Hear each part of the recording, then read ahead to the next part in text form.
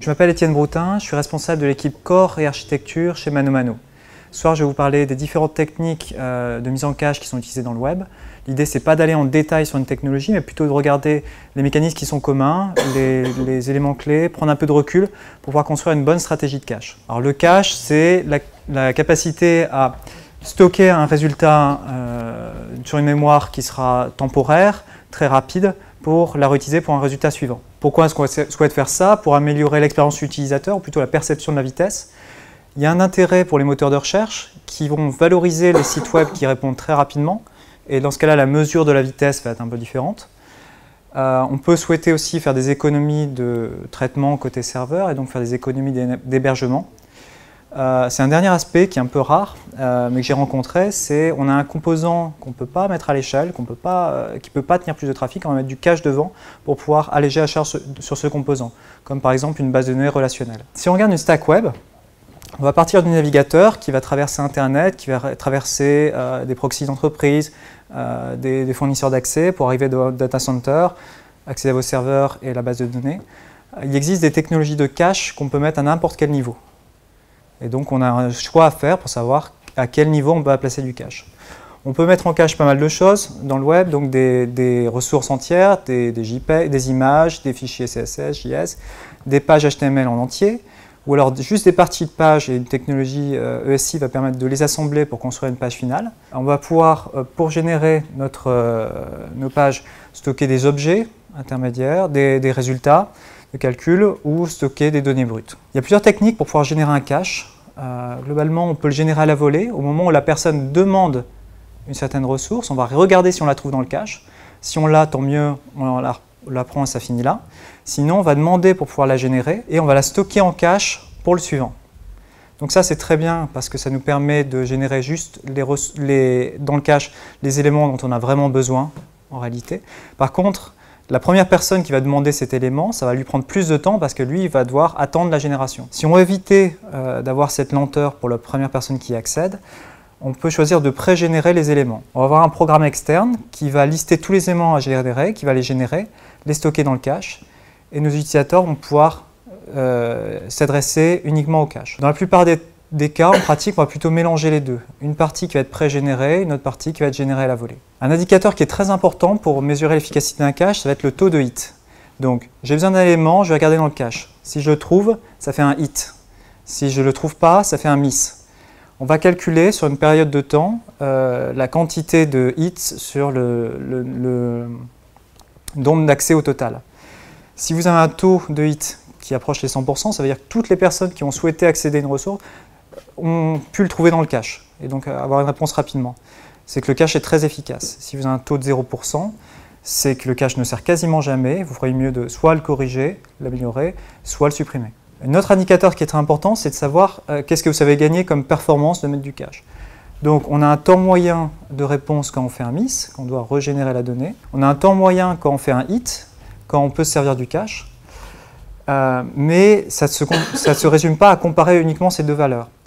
Euh, si on prend le cas où le cache est généré à la volée, dans le cas où je fais un miss, je vais devoir d'abord vérifier si j'ai l'entrée en cache, la générer, puis après la stocker.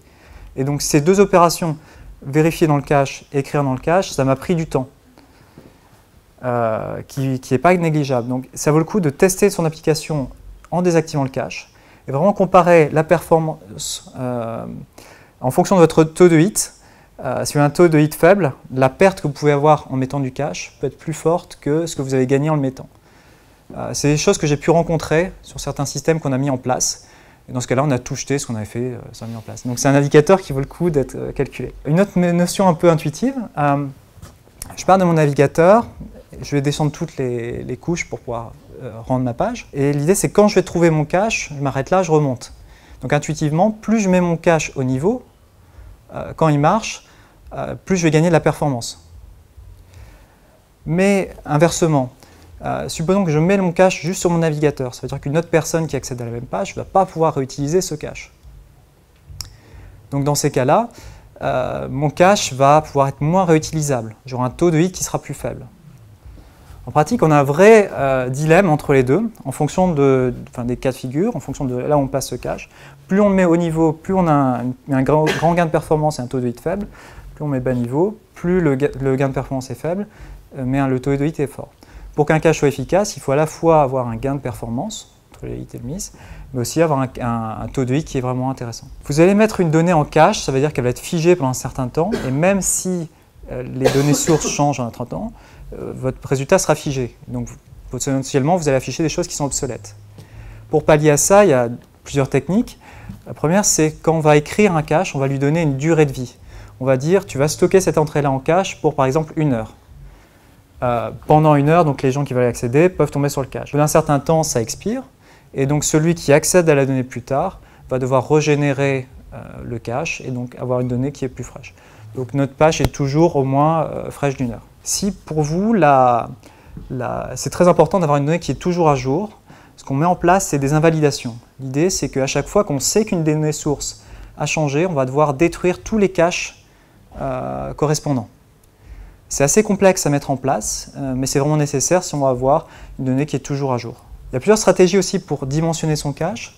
Soit on travaille avec une quantité de mémoire qui est vraiment libre, donc dans ce cas-là, on va pouvoir stocker tous les éléments qu'on souhaite mettre en cache. Il faudra surveiller sur ces serveurs qu'on a de la mémoire disponible euh, en permanence pour que ça puisse continuer à tourner. Très souvent, on travaille avec une taille de mémoire qui est fixe, euh, qui est vraiment où le cache est quasiment tout le temps rempli. Et dans ce cas-là, quand on souhaite euh, écrire une nouvelle donnée dedans, il va y avoir un algorithme qui va nous dire quelle clé on peut supprimer euh, quelle est la, donnée la moins utile pour qu'on puisse mettre son cache à la place. C'est ce qu'on appelle une éviction. Il y a plusieurs algorithmes qui existent. Euh, par exemple, ça peut être, on a stocké cette donnée en cache pendant un an, mais ça fait trois mois que personne ne s'en est pas servi. À mon avis, c'est la moins utile, supprime celle-là. Ça, c'est la stratégie LRU. une autre stratégie, ça peut être, celui-là, il doit expirer dans 5 secondes. Bon, bah, supprime-la maintenant, ce sera moins gênant. Ça, c'est la stratégie du TTL minimum. Comme ça, différentes stratégies. Le LRU est très souvent utilisé dans le web. Je vais parler maintenant des problèmes fréquents qu'on retrouve en mettant en place un cache. Euh, le premier, c'est la, problématique de trouver la clé de cache. Donc, la clé de cache, ça permet de faire la correspondance entre euh, la requête qu'on va avoir et le résultat en cache qu'on peut aller chercher. L'idée, pour faire ça, il faut trouver tous les éléments euh, dont sont fonction votre résultat. Si vous oubliez de mentionner certaines variables, par exemple, si vous avez une page qui va être différente selon que vous la demandiez avec un navigateur en français ou en anglais, vous stockez juste un résultat par URL, vous risquez de renvoyer euh, la, mauvaise page à la mauvaise personne. Vous risquez de mélanger les deux. Euh, donc ça, c'est une erreur qu'on fait fréquemment, euh, d'oublier certains paramètres dans la clé de cache. A l'inverse, si vous mettez trop de paramètres dans la clé de cache, ça veut dire que vous allez avoir énormément d'éléments dans le cache. Donc, beaucoup, euh, donc le taux de hit va être plus faible, les éléments vont moins servir et votre cache ne va pas être efficace. Il y a un problème qui est aussi euh, assez fréquent, qu'on appelle le cache stampede ou le dogpiling. Moi, c'est quelque chose que j'ai rencontré. On ne comprenait pas à un moment pourquoi euh, sur notre site, toutes les deux heures, le site était très lent pendant une minute. Puis après, on s'est rendu compte que on avait mis du cache sur notre page d'accueil qui durait deux heures. En fait, c'est à chaque fois que le cache de la page d'accueil expirait, tout s'effondrait. Comment ça fonctionne euh, Tant que mon truc est en cache, mes requêtes vont pouvoir tourner très rapidement. Brutalement, mon élément est plus en cache, donc la, requête suivante qui tombe va devoir régénérer le cache. Et ça, ça va prendre assez longtemps. Pendant ce temps-là, j'ai une deuxième requête qui tombe. Il dit bah, l'élément n'est pas en cache, je vais devoir le régénérer. Et ainsi de suite, j'ai des requêtes qui s'empilent jusqu'à dépasser les capacités du serveur. Et là, on commence vraiment à avoir des problèmes. On va avoir des incidents. Et ça, ça va durer jusqu'à ce qu'une des requêtes termine stocke enfin son résultat en cache, et ça peut fonctionner. Ça, c'est quelque chose qu'on peut euh, fréquemment obtenir si on a quelque chose qui est assez long à générer avant de mettre en cache, et qui est très fréquemment accédé. Les solutions qu'on peut faire là-dessus, c'est euh, pré-générer vraiment le cache pour s'assurer qu'il est toujours présent, et qu'on n'ait pas de période où on n'en est pas.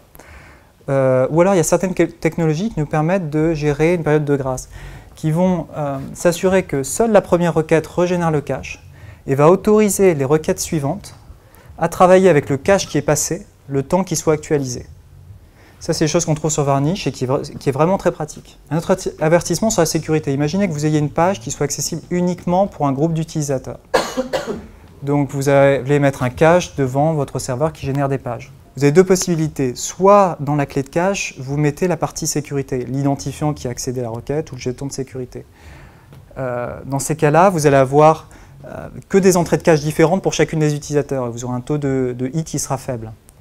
Ou alors vous ne mettez pas l'identifiant de sécurité, là vous créez une faille de sécurité, puisque une personne qui n'a pas d'identifiant peut récupérer l'information en cache. La solution dans ces cas-là, c'est de mettre en place la couche de sécurité qui est au-dessus euh, du cache, euh, qui est au-dessus de la, génération de la page. Et ça, c'est quelque chose qui est assez rare euh, dans les stacks web. Dernier problème qu'on rencontre aussi fréquemment, c'est qu'on peut avoir un code qui avait une certaine structure de données. On fait évoluer le code pour une nouvelle version, on teste, ça marche très bien, et puis au moment où on, production, on met en production, ça va planter. Parce que notre code va trouver dans le cache des données qui sont encore en l'ancien format. Et c'est un cas qu'on n'avait pas prévu. Euh, alors, ce que certaines personnes font pour ça, c'est de vider entièrement le cache au moment où on fait une nouvelle mise en production. Comme ça, on est sûr que tout le cache est vraiment au nouveau format. Le problème, c'est qu'au moment où vous mettez en production, il faudra tout régénérer, il y a vraiment un pic de charge. Le site risque de planter. Les solutions qu'on peut avoir, c'est soit euh, préchauffer le cache avant de mettre en production, sur la nouvelle version, soit avoir pendant un certain temps un code qui est capable de gérer les deux versions, le temps de euh, réchauffer le cache dans la nouvelle version. Maintenant, quelques conseils pour pouvoir choisir aussi une stratégie de cache. Une citation que j'aime beaucoup, euh, les optimisations prématurées sont la source de tous les maux. Euh, mettre du cache, ça va vous prendre du temps, ça va rajouter de la complexité dans votre code, ça risque de créer des bugs. donc l'idée, c'est plutôt commencer à programmer, développer, et puis après, identifier les, endroits qui ont vraiment besoin d'être optimisés et concentrez-vous dessus. Quelques autres conseils. Essayez de regarder euh, les éléments qui changent, euh, avant de mettre en cache, regardez si ça change vraiment souvent ou pas ces éléments. Euh, est-ce que vous pouvez vous permettre de mettre une donnée qui n'est pas fraîche, et même si c'est pour, pas très longtemps Est-ce que tous les utilisateurs accèdent vraiment à la même page, ou est-ce que c'est des millions de pages et il n'y a rien de commun entre deux pages? Dans ce cas-là, ça va être très dur de mettre en place du cache. En pratique, c'est plutôt les DevOps qui vont mettre en place ces technologies de cache qu'on peut utiliser, et les devs qui vont avoir la responsabilité, comme ils savent comment c'est généré, ils savent les paramètres qui sont dedans, euh, quand est-ce que ça va changer, quand est-ce qu'on doit invalider, euh, et ainsi de suite. Ce sont eux qui mettent plutôt en place ces politiques de cache. De mon point de vue, elle n'est pas vraiment en place. Il y a beaucoup d'éléments euh, qui sont en cache, mais aujourd'hui, on n'a pas d'outils pour mesurer si c'est efficace ou pas. On ne sait pas, je ne sais même pas moi si ça apporte, si ça nous fait gagner du temps ou pas. Donc c'est quelque chose qu'on va mettre en place, mettre des outils et bien réfléchir à où est-ce qu'on veut les mettre. chez Mano Mano, on a Varnish qu'on n'utilise pas encore. Euh, toutes les pages sont générées entièrement. On a un CDN pour cacher tout ce qui est asset, qui est assez efficace. Euh, on a tout ce qui est cache d'OP code, cache sur les métadonnées qu'on peut avoir dans du, code PHP. Euh, certains résultats sont en cache, comme les catégories, les différentes catégories de produits ou ce genre de choses, ou c'est applicativement. Vraiment, là, au niveau du rendu de la page, on va mettre des objets en cache. On pourrait imaginer, par exemple, qu'on mettrait en page, par exemple, sur Mano Mano, toutes les, euh, toutes les pages produits. À chaque fois qu'on a un article, on met ça en commun. Mais dans ces cas-là, tout l'élément avec euh, les, recommandations qui dépendent vraiment du parcours de l'internaute, ça ne marcherait pas. Si on souhaite individualiser le parcours, ou si, en, par exemple, en haut à droite, on va avoir « Bonjour Étienne euh, ça ne va pas marcher. dans ces cas-là, des solutions qu'on peut prendre, c'est les blocs ESI on va découper la page, on va dire cette partie-là, c'est commun pour tout le monde, cette partie-là, c'est spécifique. Soit ça, soit on peut retoucher après la page en JavaScript. Il euh, n'y a pas de problème de compatibilité, ça peut être faisable sur n'importe quel système.